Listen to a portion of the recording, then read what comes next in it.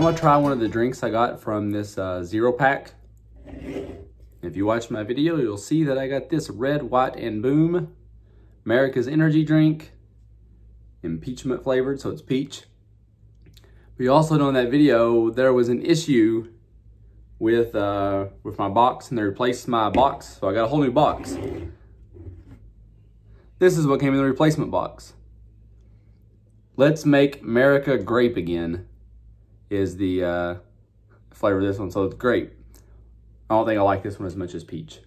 Um, if you want to see what the, all the nutrition and ingredients, all that stuff were, I'll put a link up here to the keto box. But basically, um, this is zero calories, but it says it has three carbs, three erythritol, um, nothing else except like, you know, B12, B6, niacin, that kind of thing.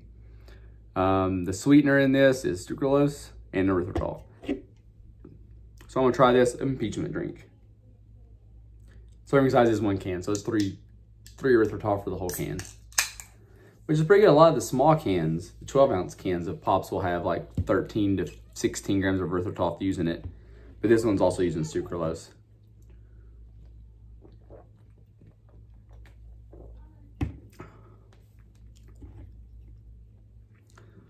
It tastes pretty good. I don't know if I taste peach a whole lot. Hang on. Okay, I've poured it in a cup now too, and I am tasting the peach flavor. Kind of aftertaste, and it's actually really good. Um, I like that it's a clear drink. I'm gonna try out of a glass so it gets a fair, a fair taste, because I'm not a big fan of cans.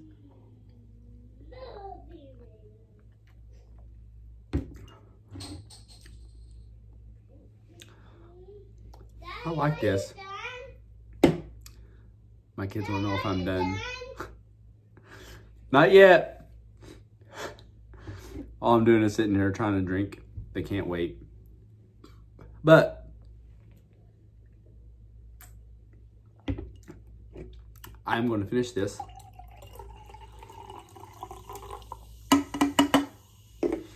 And uh, I don't expect to like this one. So if I like it, who knows? But I'll go ahead and try it right now. Oh, it smells like grape. Nutrition looks the same. All that good stuff. It looks like it's the same stuff, just different flavor. Nope. Tastes like Dimetapp, like every grape flavored thing. Drink this one though. Pour the grape one out.